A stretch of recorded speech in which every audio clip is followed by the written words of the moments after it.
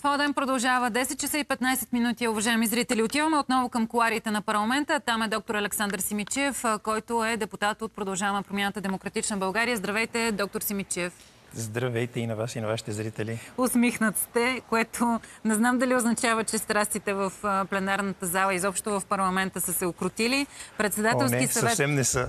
съвсем не са. Добре, ще си да. позволя, както направих и с професор Чурбанов по-рано, защото преди вас разговарях с него, темата и към двамата беше основно парите за здраве, защото днес парламента трябваше да се занимава с това.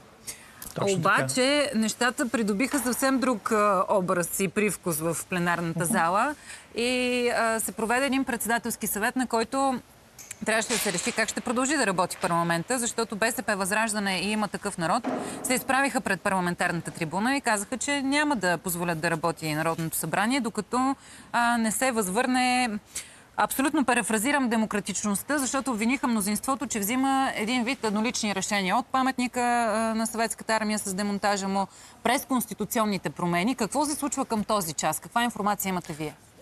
Ами, това, което трябва да направим първо е да си предефинираме какво значи демокрация. Демокрацията, знаете, е когато правиме това, което мнозинството прецени, че е по-правилното. Това е демократичният процес. И в конкретният случай е опит за диктат на малцинството над, над мнозинството. Така че от тази гледна точка не бих се съгласил с това, че това е нещо, което е в защита на демокрацията, точно обратното. Но а, няма смисъл да го водим този разговор. Това, което трябва да правим е, когато сме тук, да работиме, тъй като специално за парите за здраве, мога да кажа, че те са повече, отколкото са били в минали години. А, реалното увеличение не е този милиард, който всички цитират. Реалното увеличение е по-малко, защото част от тази сума реално е компенсация на, на инфлационните процеси, но независимо от всичко, е, парите за здраве изпреварват ръста на, на инфлацията, а в резултат на което ние имаме увеличение, реално увеличение с около половин милиард нагоре за реална сумата за, за здраве. Това, което вече имаме е подобно на, на образователната система, и здравната система започва да, да излиза от дъното на, на заплащането. Но това, което веднага проличава след това е, че ние трябва да имаме много ефективен контрол на тези средства, за да могат те да изпълняват максимум от функцията си. Подобно на, в образованието, където ние имаме достатъчно средства, или поне за нашата, за нашата черга достатъчно средства за образование, а, но същевременно пиза скора е нисък, по същият начин и за здравеопазване имаме достатъчно средства, но не всички параметри на качество ги изпълняваме. Тоест от тази гледна точка трябва да се отласнем от дъното не толкова повече с наливане на пари, колкото с а, преорганизиране на управленските процеси и на менеджмента и особено на поддържането на качеството и достъпността в здравеопазването. Сега, има сериозни критики по отношение на и парите за здраве и те са в посока на това, че пари се заделят, обаче реформи няма. А, Съгласен ли сте до някаква степен а, или не, напротив? А, и ако не сте съгласен, всъщност къде виждате вие реформирането на системата през пренасочване на средства? А, това е също въпрос на тази, този демократичен разговор, за който говорим, където да решиме заедно, надпартийно, какво трябва да правим с здравеопазването, защото едно от нещата, което може да бъде видяно когато всеки един от нас се отзове на мястото, където в момента седа, ние няма как да спреме системата, за да я ремонтираме. Ние трябва да я ремонтираме, докато тя работи. Това не може да стане с генерални, драматични промени, може да стане с инкрементални промени, каквито ние правим за последните две години. Какво значи инкрементални имам, например, промени? Прощавайте. А, значи, значи да. Това значи а, промени, които бутат системата в правилната посока, така че да постигнем ефектите, които искаме, без тя да бъде щупена и без да спре да работи. Това, което мога да кажа е, че за последните две години увеличаваме систематично парите за извънболничната първична и специализирана помощ, в резултат на което като резултат от това за първи път тази година, 2023, нямаме свободни места за специализация на общо практикуващи лекари. Тоест хората, които имат желание да специализират и да работят тази специалност в бъдеще, вече са заели тези бройки. Тоест ние имаме повишена, повишена желание моите колеги, които завършват медицина, да специализират обща медицина и да работят като общо практикуващи лекари. Това е първата лястовичка, която виждаме в резултат на три години последователно натискане в една и съща а, това, посока. между другото, хващам се за, за точно този конкретен акцент, защото знаем какви проблеми вече избояват от липсата на, на общо практикуващи лекари. Това е наистина добра новина, дано Дано да продължи Тя, в за съжаление, За съжаление, както всяко друго нещо в здравеопазването, то не може да бъде изчерпено в рамките на един мандат, защото ние в парламента сме с мандат от 4 години, а подобни промени, примерно една специализация, изисква самата тя 4 години. След това този човек специализирал да тръгне да си намира работа и да, се, да събере пациенти. Тоест процесите в здравеопазването въобще не са бързи и затова една от причините политиците да бягат от здравеопазването е защото защото там резултати бързо не могат да се видят и те изискват дългосрочна, устойчива, стратегическа, политическа воля от всички заинтересовани, за да се случат тези промени. Ние в момента а, много трудно намираме общи, а, така, общи теми, по които да се съгласим и да застанем за тях. Включително една тема, която нашата политическа формация а, постави на обсъждане, което е ефективното разходване на парите в болниците, което се прави с закона за обществените поръчки. Там, за съжаление, не бяхме подкрепени. Много тъжна е тази констатация, че че не, няма някакво обединение и гледане в една посока, извън чисто партийната отсветеност на, на, на формациите в парламента. Много ми се иска това нещо да се промени. Обаче, а защо се прави... Ясно е, че в здравеопазването, вие затова сте и там като народни представители, се правят и политики. Обаче, защо чистата политика влезе в здравеопазването? А, ако не сте съгласен, че е така, разбира се, може да ме репликирате, няма проблем.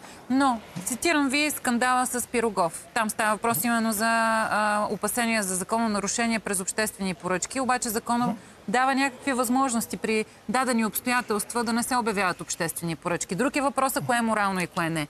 Другия скандал, който беше и назря е начинът по който се избра ръководството на НЗОК и условието, което имаха ГЕРБ и ДПС, поправете ме ако греша, обществените поръчки за онколекарствата, най-скъпите терапии всъщност, да се правят от Здравното министерство, а не от НЗОК.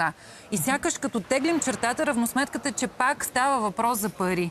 Как може така да вървят паралелно нещата, да има а, необходимите средства за лечението на хората, но и здравната система, здравеопазването да не е заложник на чистата политика? Ами, а, Трудно ще стане, но ще стане, когато а, ежедневно показваме така, както преди малко ви показах, макар и дребни, но резултати, които се получават в резултат на ясни политики. А, това, което ви казах за а, факта, че вече нямаме свободни бройки за специализация, стана в резултат на 3 годишен натиск да се случи това нещо. А, да, то се случи и вече имаме резултати. Тези резултати ни позволяват да знаем, че вървиме в правилната посока. А, когато работиме извън камерите, т.е. вътре в здравната комисия или в парламентарната зала, много неща могат да се случат и когато, за съжаление, включим и камерите, започва популизъм, който популизъм, краткосрочността на мисленето на популизма не позволява да постигаме дългосрочни стратегически цели. Това е истински големият проблем. Това, което вие наричате политика, всъщност не е политика, то е политиканстване. Има разлика между политика и политиканстване. Политиканстването е когато човек го прави краткосрочно за някакви а, краткосрочни резултати, за дивиденти. Политиките са тогава, когато правиме промени, с които целим да подобриме достъпа до здравеопазване, да, да подобриме финансирането, да подобриме едно важно нещо, за което малко говориме разпределението. Защото ние в момента и продължаваме да имаме специалности, които са подценени и за които те безвъзвратно застаряват и нямаме кадри, и други специалности, за които имаме излишък от кадри. Добре, така, понеже че... сме на финала на нашия разговор, да. разбрах ви позицията по отношение на политиканстването и правенето на политики. Разликата е огромна и тук абсолютно съм съгласна абсолютно, с вас. Да. Независимо от коя политическа формация ще го чуя, ще се съглася с всеки един представител. Обаче, какъв е вашия прочит? Първо за избора на, на ръководството на НЗОК, начина по който се случи това и а, има, между, между другото, не знам какво се случи с решението да се помолят избраните да направят крачка назад и да си подадат оставката, за да се проведе нов избор. И след това вече за обществените поръчки в, в да. Пирогов. В момента и двамата и управители и подуправителя са в оставка и очакваме в януари месец да проведеме истинска дискусия между всички парламентарни групи, тези, които могат да вземат решението като мнозинство, но призовавам абсолютно всички, които сме в парламента, да може да дискутираме, за да вземем едно решение, което е максимално добро за общото благо на българският народ. Касата е разпределя най-големият финансов ресурс в здравеопазването 8 милиарда лева. Те трябва да бъдат разпределени максимално справедливо, така че да няма съмнение, че те са разпределени точно там, където здравната ни система има нужда. Защото, пак казвам, вече пари имаме достатъчно. Трябва да започнем да мислиме как те се управляват, за да може да постигнем целите на здравната система, което е повече здраве, по-голяма достъпност, по-малко проблеми в, в здравната система и в края на кращата и лекари, и пациенти, а и управленци да бъдат доволни от това, което постигаме с този огромен за, нашата, за нашите мащаби ресурс. Добре, и по отношение на скандала в болница Пирогов, защото чухме министъра, който поиска оставката и обяви рукадата. Здравната комисия задължи обаче министъра да се изчака какво ще кажат правоохранителните органи в крайна сметка. доктор Димитров Здравната... изяви своето становище и отхвърли тези обвинения за закононарушения. Какъв е вашия коментар? Имах, имах възможността да коментирам това на няколко пъти. Аз съм твърд привърженик всеки да си гледа работата. В парламента ние сме тези, които отпускаме средствата под формата на бюджетиране и създаваме законовата рамка. Това са нашите правомощия. Всичко останало в изпълнението на, на бюджета и на законовата рамка е обект на изпълнителната власт. В конкретният случай а, този, тази болница си има принципал, има си собственик. Принципал на тази болница е Министерство на здравеопазването. И така, както този проблем нямаше да стигне въобще нито до парламента, нито където и да е другаде, ако беше някоя частна болница и принципала на частната болница реши да си смени директора, няма другите да му се месят, защото това е решение и отговорност и последиците от това решение са отговорност на този, който е принципал на болницата. Това е моето мнение. Аз не бих се намесил в този скандал, не за друго, просто защото ние сме тук, за да може да разпределяме парите и да правиме закони. Ако има а, забележки към правенето на закони или към количеството пари, моля, обърнете ги към мене. За другите въпроси има други хора, които отговарят. На финала се връщаме вече като последен въпрос към началото на нашия разговор а, свързан с парите за здраве. Как оценявате бюджета? Здравния бюджет. Конкретно парите за здраве. Добър, лош а, или нещо друго може да използвате? Не знам, все за едни пици си да. говорим.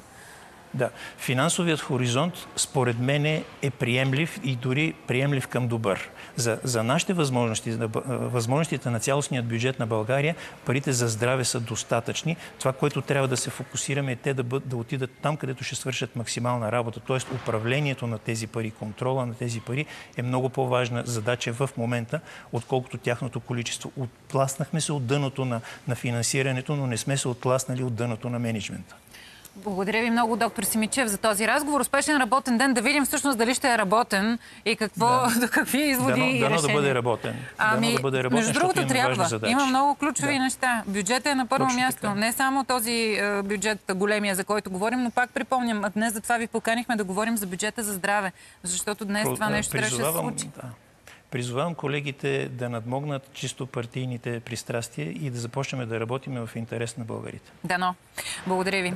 Доктор Александър Симичев, депутат от Продължаваме промяната Демократична България. Паралелно с това, уважаеми зрители, колегите ни на терен, продуцентът ни, който е на ефир, са в непрестанна връзка за всяка една нова информация за това как ще продължи работния ден на народните представители. Знаем по предварителна информация, информация в аванс от колегите ни на място, че в 11 часа, гледам часовника в момента е 10.29, съвет след около 31 минути би следвало да започне втори председателски съвет. Какви ще са решения?